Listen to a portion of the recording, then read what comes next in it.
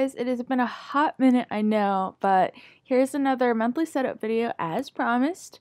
Uh, I have to say that it has not been a good start to 2023 for me. I spent the first couple of weeks of this year incredibly sick with something, which is ridiculous because I literally had the flu at the beginning of December too. Anyways, welcome to the new year, guys. And for my February setup for this Norse themed journal, I made an artwork of Fenrir. For some reason, my printer didn't quite catch this background I put on the type, so I had to print that again. But this printable is up on my Etsy page if anyone wants to have it for their own journals. Uh, one thing that really bothered me about my January setup was that it had the purple gradient for the day headers, but my marker color didn't change. So I thought this time I would try and use a primary and secondary color and switch them out. I also made washi tape strips for this one as well using those same colors.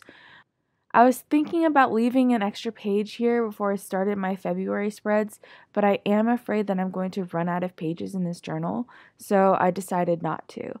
Um, I kind of wish I did though, looking back, but you know, you live and you learn.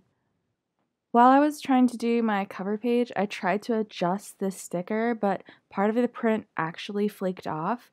I've noticed that this is kind of a trend with this sticker paper where some of the edges of the ink almost chip.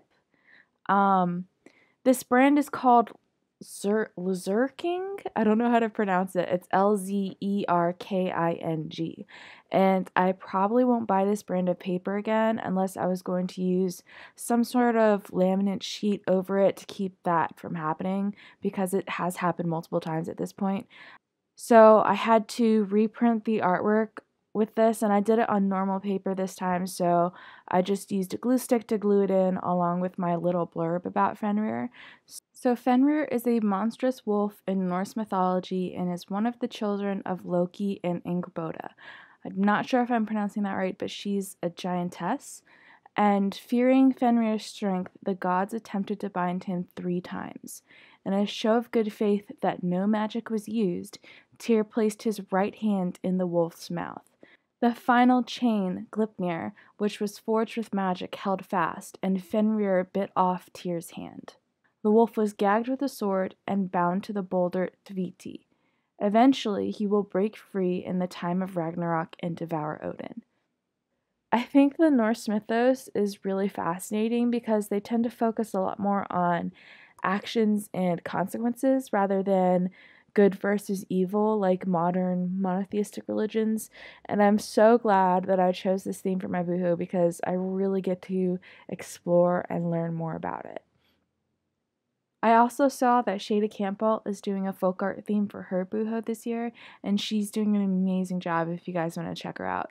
She basically gives you step by step tutorials on how to do what she's doing, which is really awesome for people who don't have a lot of experience drawing.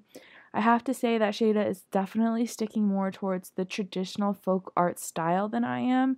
I'm actually trying to incorporate folk art elements into my own art style rather than going full traditional folk art. Uh, so if you guys are interested in watching the speed draws for these artistic elements and hearing me ramble about them and how I'm trying to incorporate these styles together, then let me know in the comments and I might put together a speed draw video about that. Anyways, there's my February cover page, and then next I have my calendar page. This page is actually pretty boring. Um, the calendar squares here are actually six squares wide by seven squares high, since February only had five weeks to worry about. And then I have a separate space for my main focus for the month, and then notes as well. Um, I'm using this weird stamp as a straight edge because I somehow lost my ruler, but I do like the rounded edges on this note section, so happy accidents, you know what I mean? Then I'm going to use the washi tape that I made to mark the edge of this page so you can see it when you look at my closed journal, and to do that you just fold the washi tape over the edge of the page. Someone on my January setup mentioned that I should title this next spread Month Review, and I really liked it, so that's what I decided to title this page. Uh, like I said in my last video, this isn't a habit tracker, but a place for me to figure out where I last did something and how it's affecting my mood and my sleep.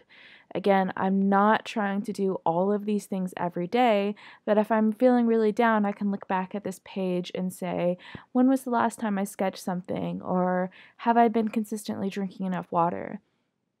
You can see me looking back at my January spread uh, and I have to admit, I am not the best at filling this out, but even that is a really good indication of where my headspace is at.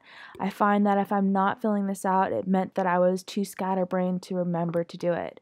And since I was sick and feeling under the weather for most of January, you can actually see that because I wasn't keeping up with this page in my journal. The layout of this page is pretty simple. I have a number for every day along the side, and I did remember all of them this time, but um, I outline the weekends with a pen in my secondary color or my primary color just so it's easier for me to navigate this page. Um, another thing that I do that you might want to switch is the placement of these sections. I tend to put my night routine and sleep on the left page and all my morning and daytime things on the right. There isn't any really solid reason for this. It's just what my brain decided makes the most sense. But that's why bullet journals are so special. I mean, you do something that makes sense to you, and that is all that matters. One thing that I forgot to do on camera was to highlight the three things that I wanted to try and do every day. Like I said, I'm not trying to do all of these things every day, but there are some things on here that I do want to try and build habits for, like studying Japanese, for example. That is something that I've always really struggled with, and the best thing you can do while learning a language is to be consistent. So, I really want to get in the habit of doing some kind of lesson every day. So, I'm going to highlight that column. I'll show you a picture of the finished product, but I'm not going crazy with this.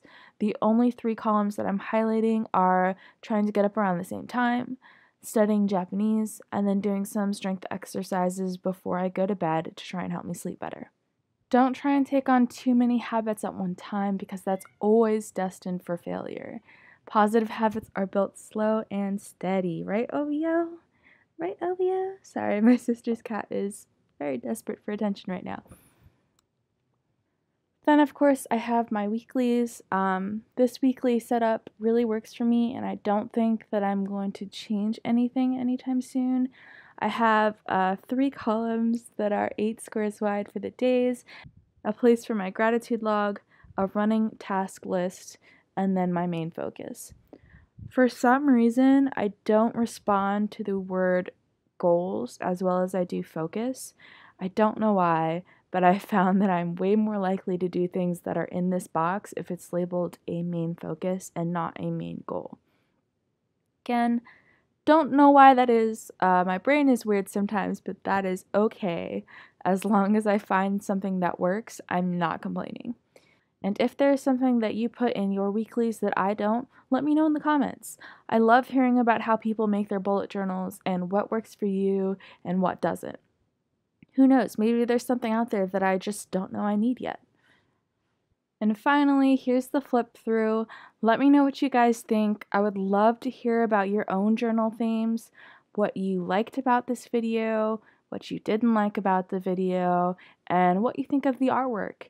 And if you want to see a speed draw of the digital drawing process for that, let me know in the comments because I do read them, and if that's something you guys want to see, then I will make it happen. Anyways, I hope this video was helpful and thank you for coming along with me while I did this. I'm hoping to post another video soon, so I'll see you guys next time. Bye.